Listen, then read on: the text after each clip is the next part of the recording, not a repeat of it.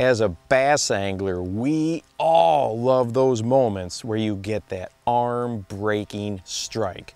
Well, today we're going to talk about a certain lure and presentation that's going to give you those arm ripping strikes all the time. Hi there, welcome to the Bass Fishing Life. I'm your host, Steve Rogers. Before we get going with the video, make sure you hit the subscribe button, punch that notification bell, drop a comment, share the video. On today's episode, we're going to be talking about the power of the swim jig. This one bait right here can give you more arm ripping strikes than just about any other type of lure that you can throw. So I'm gonna be talking about three different ways to fish the swim jig. It's a very simple presentation. It's effective throughout the year, and it's something that beginning bass anglers can have excellent success with as well. So this right here is just a quarter ounce swim jig. Uh, you may be asking yourself, what is the difference between a swim jig and a flipping jig? And we've actually covered that in previous videos, but in case you haven't seen those, uh, the big thing here is the head design. A swim jig is meant to move horizontally through the water column, and as you can see with this narrow profile, this slender profile, this is going to come through vegetation and the water very, very easily in a horizontal manner. Uh, on here, I've got a Menace Twin Tail Grub trailer, and the color here is actually bluegill and then honey candy. And the reason I picked this particular one is because this lake that I'm fishing here, there are no shad. The main forage base as far as bait fish are bluegills. So that is why I got this particular color. Uh, you can see it's got some of the orange down here like a bluegill does. Uh, but this is why I use this particular one. And I use this trailer, this twin tail menace grub here because it really resists a lot of water and I can fish it slowly and it'll still maintain its um, position in the water column. So that's really important as well.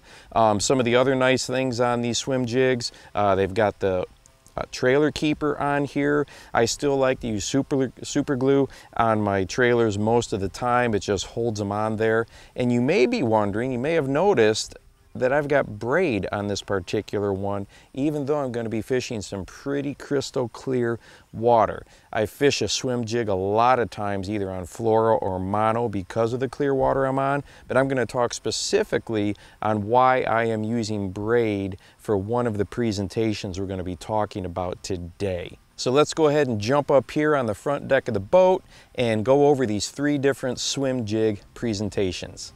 Let's go ahead and get started with the swim jig and some different presentations. And the first thing that I want to talk about is just kind of a little bit about the history of the swim jig. Now a swim jig is nothing new. It has been around for a long, long time and about six, seven years ago it got really popular and it's still a mainstay on a lot of the professional circus for sure.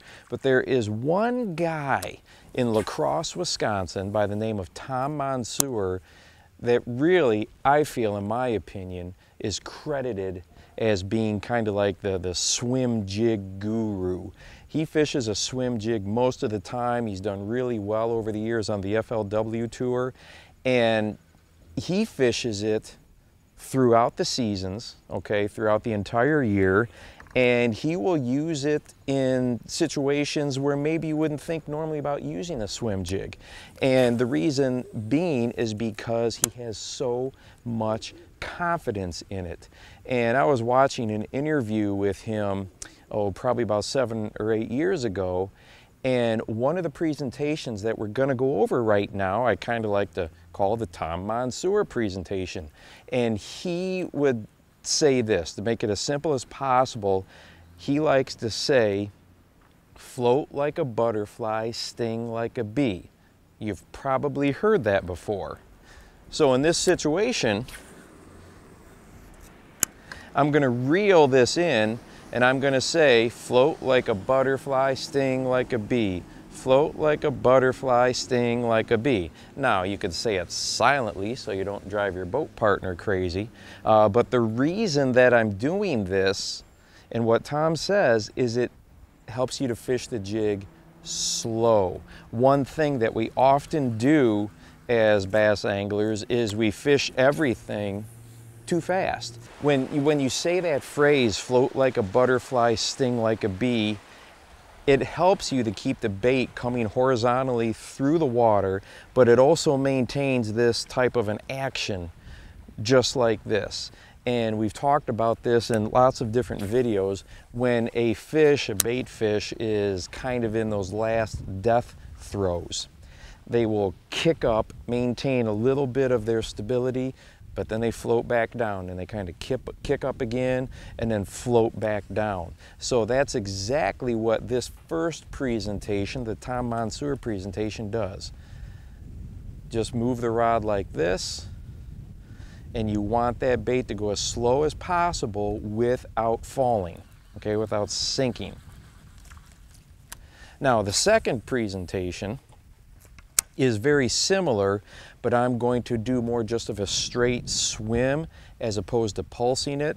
And, my goal here, my objective for this presentation is to get deeper. Okay, so with the same bait, this time it's a quarter ounce, with this same bait, I can fish really, really deep, okay?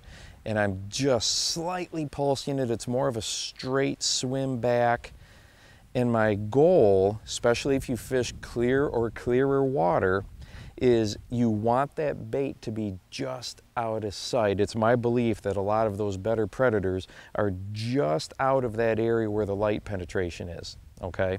Whether that's because there's a weed bed down there or even if it's open water, they're gonna be just down outside the range of that light penetration. So I use this straight swim to get deeper. Like I said, you can pulse it just a little bit, but it is amazing, even with like this quarter ounce swim jig, how deep you can get. I can fish, you know, 12, 15 feet really easy just doing this. And I know that that twin tail grub is really kicking away and putting a lot of action back there. Another really good trailer is a paddle tail uh, jerkbait on the back of a swim jig works really well, uh, displaces a lot of water so you can maintain that horizontal presentation and that works really well on a straight swim. So the first one was the Tom Monsoor, float like a butterfly, sting like a bee. The second presentation is the straight swim. The third presentation I like to credit to Randy Howell. A lot of you may know Randy Howell as far as um, uh, hearing of him. He has fished uh, the Pro Tours many, many, many, many years, and he likes to take his swim jig and he does something a little bit different with it, and that's why I have braid on here. He likes to take his swim jig and pop it like this all the way back to the boat. So that bait down there under the water is really kind of just giving a hard twitch the entire way. And uh, he picked up that particular technique down on Lake Guntersville in Alabama. So this is what it looks like as he fishes a swim jig. And the reason for the braid is because the braid has no give whatsoever. You have immediate contact between the energy that you're imparting onto the rod, and that energy is immediately transferred through the braid, which has no stretch, no give, and right to your bait. So that is why he uses braid. As a matter of fact, he says, I, I, don't even think you can do this presentation as effectively without braid. That's how much he believes in it. But so this is what the third presentation looks like. You're giving that bait a really hard twitch all the way back, keeping it up there near the top of the water column. And you know hoping for a reaction strike. And I'll be honest this way is by far the most exhausting of all of them. I prefer myself to do the Tom Monsoor retrieve just like this. This is what I do 90% of the time. And one thing to mention with the swim jig if you're trying to get to a little deeper depth and you, you throw it out there be aware that you're gonna get some strikes on the drop as well. I hope that you learned something today with the three different swim jig presentations that we went over. This is one of those lures, if I've got, you know, four or five or 10 rods out on my rod deck uh, here on the boat, a swim jig is something that you will always find on my boat deck because it's so effective, not only for getting those arm ripping strikes that we've been talking about, but it's an excellent search bait as well. And fish oftentimes will show themselves, and even if they don't hit it, you know where they're at, and then they, you can go back and fish something else, else and follow up. But man, this is something I always, always have tied on. So I hope you learned a few things today. Don't forget to go out and encourage somebody today. You never know how you're going to change their life. And for the Bass Fishing Life, I'm your host, Steve Rogers.